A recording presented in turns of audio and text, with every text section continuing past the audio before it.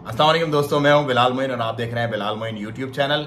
Opportunity card जो Germany ने एक अपना बिल पास किया है असेंबली में, वो आजकल उसकी बहुत चर्चा चल रही है और बेसिकली एक बहुत अच्छी अपॉर्चुनिटी है। तमाम नॉन ईयू जो लोग हैं, जो हम जैसे लोग हैं, इंडिया, पाकिस्तान, बांग्लादेश में रहने वाले, उनके लिए।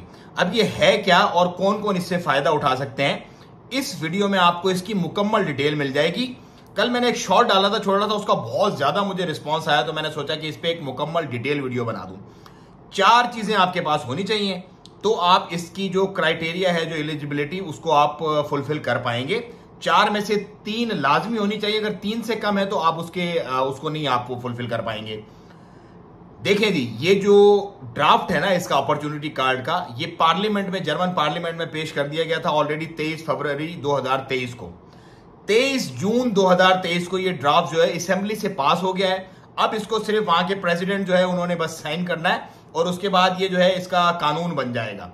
अभी आपके पास तकरीबन चार से पाँच महीने हैं, क्योंकि तेईस जून को अभी जस्ट कुछ दिन पहले ये पास हुआ है। अब ये पूरा इसकी तरतीब बनेगी, इसका एक स्ट्रक्चर बनेगा, इसकी एक सेटिंग बनेगी, उसके बाद आप इसको अप्लाई कर पाएँगे। अच्छा क्यों इसकी ज़रूरत पड़ी? क्यों? मतलब जर्मनों ने क्यों सोचा ये? क्योंकि हर साल एक अंदाजे के मुताबिक जो एजेंसीज जो हैं, वो देती हैं, अपना डेटा देती हैं कि यार इतने हमें स्किल्ड वर्कर चाहिए। उनके मुताबिक हर साल जर्मनी को तकरीबन चार लाख चार लाख ऐसे स्किल्ड वर्कर्स रिक्वायर्ड हैं कि जो जर्मनी में आकर सेटल हों और जर्मनी के काम काज को देखें।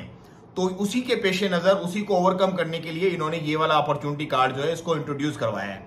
अच्छा अब इसकी मज़े की बात मैं आपको बता दूँ। मज़े की बात यह है कि इसके लिए आपको जो है ना वो बहुत किसी जॉब ऑफ़र की ज़रूरत नहीं है। मतलब पहले ये होता था कि जॉब ऑफ़र आपके पास होगी तो ही आपका वीज़ा प्रोसेस होगा, इसके लिए वो नहीं है। प्रॉन्स एंड कॉन्स इसके दोनों के दोनों में आपको बता देता हूँ, उसके बाद फैसला आप खुद करना है कि आपने क्या करना है। अगर आप नए मेरे चैनल पर तो सब्सक्राइब ज़रूर कर लो और वीडियो को ज़्यादा ज़्यादा शेयर कीजिएगा ताकि आप नहीं भी अगर करना चाहते हो तो क्या पता कोई ऐसा बंदा हो जो इसको करना चाहता हो और एलिजिबल हो और वो इसको कर ले। चार इसके मेन एलिजिबिलिटी क्राइटेरिया जो मेन बात है वो मैं पहले कर देता हूँ। नंबर एक, आप 35 साल अंडर 35 होने चाहिए आप। अंडर 35 35 से अबो वाला इसके लिए क्राइटेरिया नहीं है। नंबर दो, आपकी यूनिवर्सिटी डिग्री आपके पास होनी चाहिए प्रोफेशनली क्वालिफाइड होने चाहिए आप। मतलब अंगूठा छाप या मैट्रिक पास वो नहीं चलेगा। यूनिवर्सिटी डिग्री कम अज कम यूनिवर्सिटी डिग्री लाइक बैचलर्स और मास्टर्स आपके पास होना चाहिए।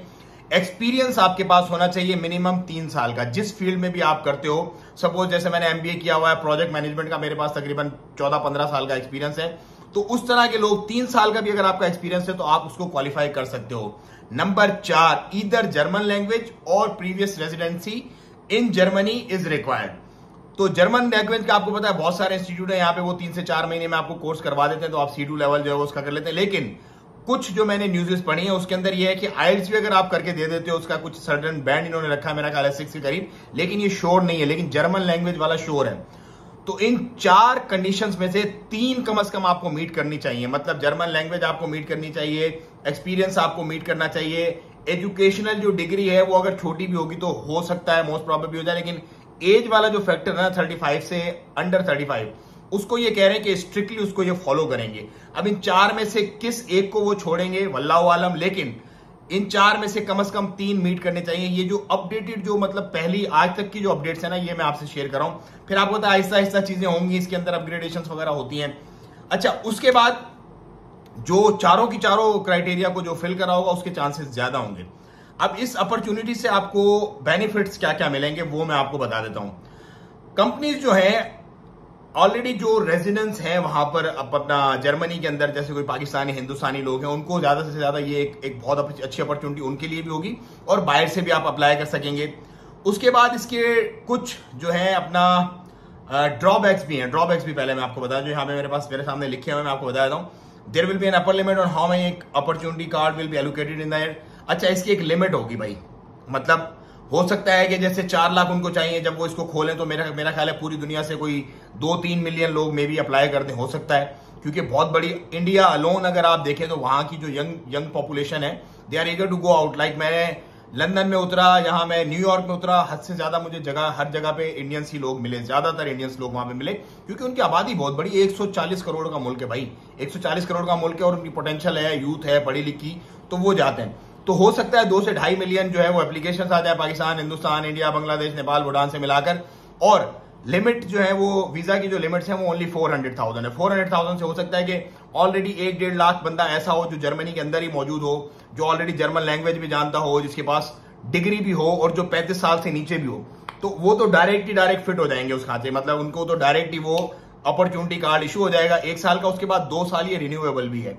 तो पहले तो स्लॉट्स उनके पास चली जाएँगे। ये मैकेनिज्म मैं आपको पूरा समझा रहा हूँ। फिर उसके बाद जो स्लॉट्स बचेंगे सपोज़ लेट से पचास हज़ार ऐसे लोग थे, जर्मनी में मौजूद थे जर्मनी की जर्मनी में फिट हो गए। साढ़े तीन लाख लोग बचे। उन साढ़े तीन लाख में फिर स्क्रूटनाइज करेंगे कि जो ज़्यादा से ज़्यादा क्राइटेरिया को जो जो मेंटेन करता है, जो बंदा रीच करता है, उसको फ़र्स्ट प्रायोरिटी देंगे, फिर सेकंड प्रायोरिटी फिर थर्ड प्रायोरिटी इन केस अगर नहीं आती अपना इतनी ज़्यादा एप्लीकेशन जैसे मैंने दो मिलियन बोल दिया लेट से दो लाख अपर एप्लीकेशन आती हैं। चार लाख उनके पास वैकेंसी तो हज़ार सी बात है दो के दो लाख को वो कर देंगे पूरा का पूरा। देखेंगे उसमें से वैसे नहीं कि आँख बंद करके करेंगे लेकिन उसमें चांसेस ज़्यादा होंगे।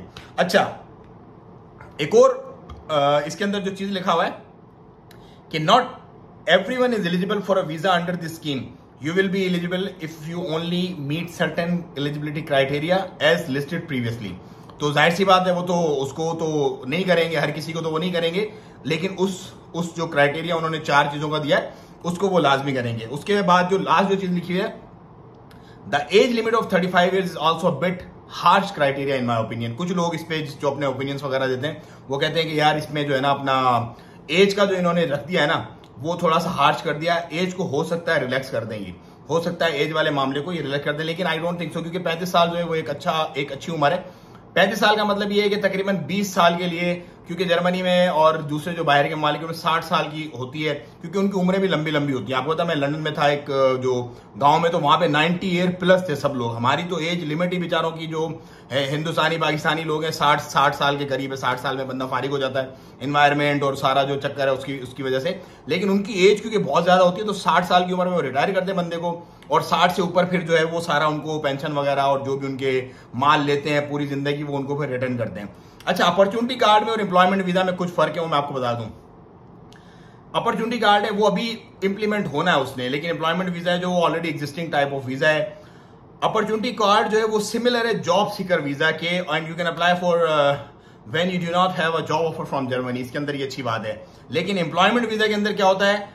एम्प्लॉयमेंट वीज़ा सिर्फ़ उसी सूरत में आप अप्लाई कर सकते हैं, जब आपके हाथ में जॉब ऑफ़र जैसे कि मैंने शुरू में बताया था आपको, हो उस सूरत में, इसको लेकिन आप विदाउट जॉब ऑफ़र भी कर सकते हैं। उसके बाद there is a limit how many opportunity card will be अच्छा एक और बड़ी बात है कि डिपेंड करता है कि कितने अपॉर्चुनिटी कार्ड uh, जो जर्मन गवर्नमेंट है वो हर साल इशू करेगी। उस पर डिपेंड करता है लेकिन theoretically there is no limit number जो एम्प्लॉयमेंट वीज़ा उसके अंदर थ्योरिटिकली कोई ऐसी लिमिट नहीं है। उसके अंदर हर कंपनी अपने हिसाब से इशू करती है और जो लेने वाले होते हैं वो ले जाते हैं। और जो uh, नहीं उसको क्राइटेरिया को उस कंपनी के फुलफिल uh, करते हैं वो रह जाते हैं। तो ये कुछ चीज़ें थी जो आपको मैंने बतानी थी इस कार्ड से रिलेटेड। जैसे जैसे इसके ऊपर अपडेट्स आती रहेंगी इंशाल्लाह मैं आपसे शेयर करता रहूँगा। बाकी अपनी दुआओं में ज़रूर याद रखिएगा। दुआओं का आ, मैं आपको हर बार इसलिए कहता हूँ कि दुआएँ ऐसी चीज़ें जो तकदीरें बदल देती हैं इंसान की। आ, अपना और अपनों का बहुत ख्याल रखिएगा। असल वरहमत ला वर्का